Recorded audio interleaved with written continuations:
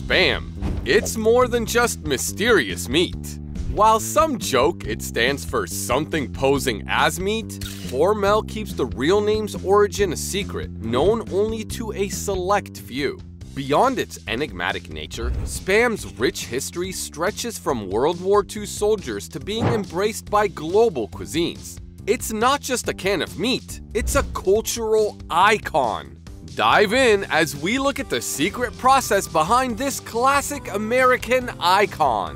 When you look at Spam, it defies categorization, a curious blend of the unusual and the savory. But it has a legacy. As Eater highlights, its conception dates back to 1929 when Jay Hormel envisioned the next big thing for the brand. Upon noticing large blocks of canned meat in delis, he was inspired to miniaturize it. Enter Julius Zillgitt, a Hormel genius who didn't just streamline the can size, but also refined the meat packing process. Jay Hormel's foresight didn't end there. To stand out, he chose only pork shoulder for Spam, ensuring quality while utilizing a part of the pig often overlooked. Born in the heartland of Minnesota by Hormel Foods in 1937, Spam emerged during a pivotal era in food preservation. The shadows of World War I and the Great Depression underscored the necessity for reliable, cost effective, and shelf stable sources of protein. The rise of industrialized practices like refrigeration and conveyor lines led to meat packing hubs in cities like Kansas City and Chicago. Such innovations paved the way for large-scale meat and other preservation methods. Interestingly, the pork shoulder, a high-quality meat cut, was relatively inexpensive back then. Recognizing an opportunity, Hormel embarked on producing Spam, aiming to offer households a versatile, premium, yet budget-friendly protein staple. However, it was World War II that thrust Spam into global limelight. A staggering 100 million pounds of this canned marvel was dispatched globally to feed the troops. Its introduction in various regions led to an organic integration of Spam into their culinary traditions. Countries like the Philippines, Thailand, South Korea, and notably Hawaii warmly embraced Spam, making it a part of their gastronomic identity. For those intrigued by this meat's journey, the Spam Museum in Austin, Minnesota serves as a treasure trove. And for the ultimate Spam enthusiast, a myriad of flavors awaits exploration, from the zest of teriyaki and jalapeno to the comforting notes of hickory smoke. Spam for many years had two homes, one in Fremont, Nebraska and another in Austin, Minnesota. However, the Star Tribune indicates a shift. In 2018, Hormel waved goodbye to their Nebraska plant, handing the reins to WholeStone Farms LLC, a collective of hog farmers. Although they continued supplying Hormel for three years post sale, the long term relationship remained uncertain. For spam aficionados worldwide, interestingly, the delicacy is produced in South Korea, the Philippines, and Denmark. Although often dubbed mystery meat, Spam's simplicity is surprisingly refreshing. Comprising six straightforward ingredients pork with ham, salt, water, potato starch, genuine sugar, and sodium nitrate, it's far from the synthetic concoction many might suspect. Yet, with its fat and sodium content, moderation is key. Enjoying spam occasionally? Great! Making it a daily dish? Perhaps think twice. You're likely no stranger to salt and sugar, but what about the lesser known ingredients? Take sodium nitrite, often maligned in the media as potentially harmful.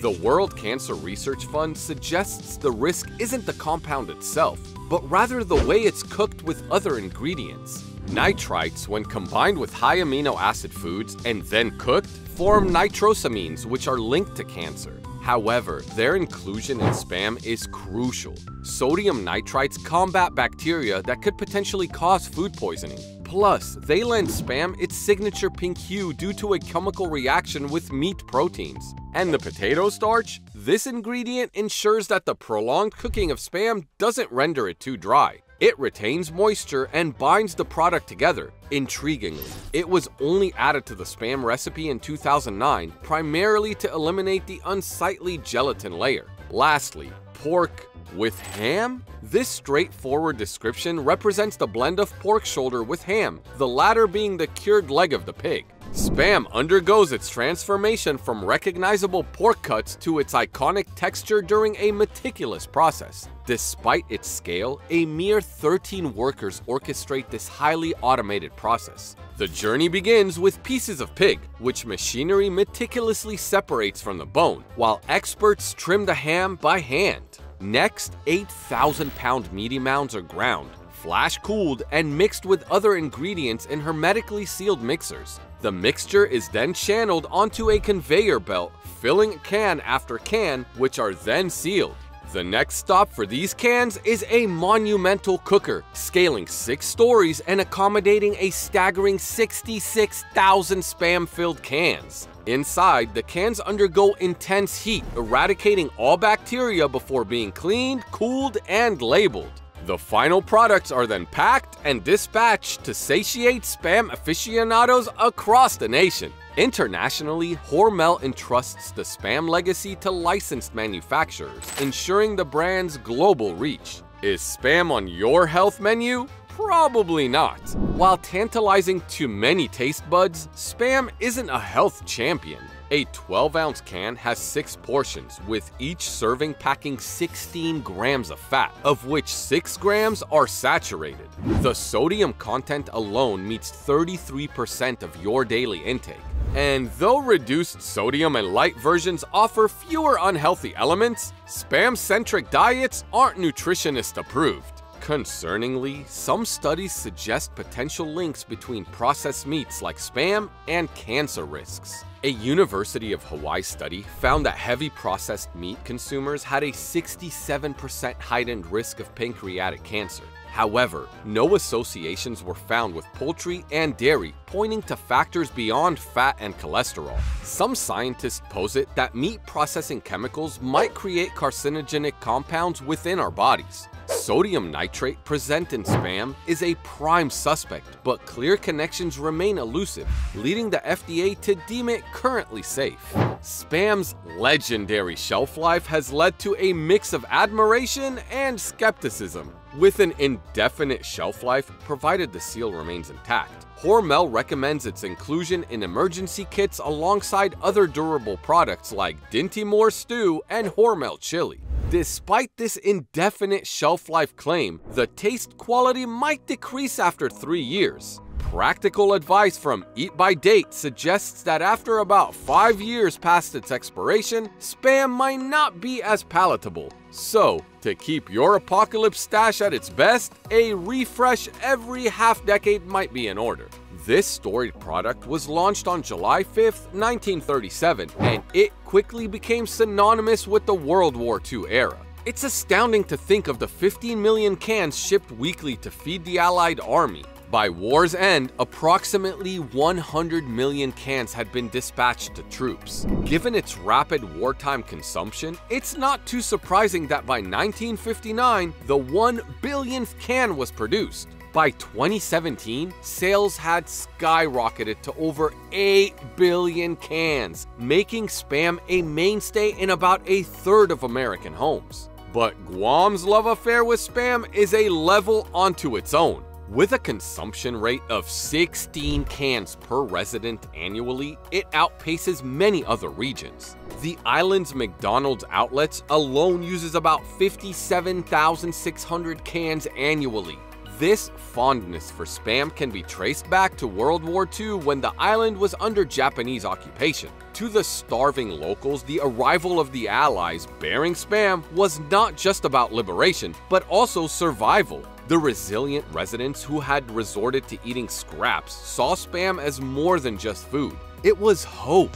Today, it stands as a testament to their endurance and the spirit of recovery. Spam's enduring success in today's health-conscious age is a testament to Hormel's brilliance in branding, adaptability, and market understanding. Despite the global shift toward organic and plant-based eating, Spam remains popular due to several reasons. It's affordable and accessible, catering to a broad demographic that values cost and convenience. Hormel has struck a balance between maintaining Spam's original taste to keep local customers while innovating with new flavors to cater to diverse tastes. The product's versatility in a range of dishes has kept it relevant in kitchens worldwide. Nostalgia plays a role in Spam's appeal, evoking simpler times for older generations, while younger consumers see it as a cool vintage product. Recognizing its immense popularity in regions like Asia Pacific, Hormel has ensured that Spam is deeply rooted in various local cultures.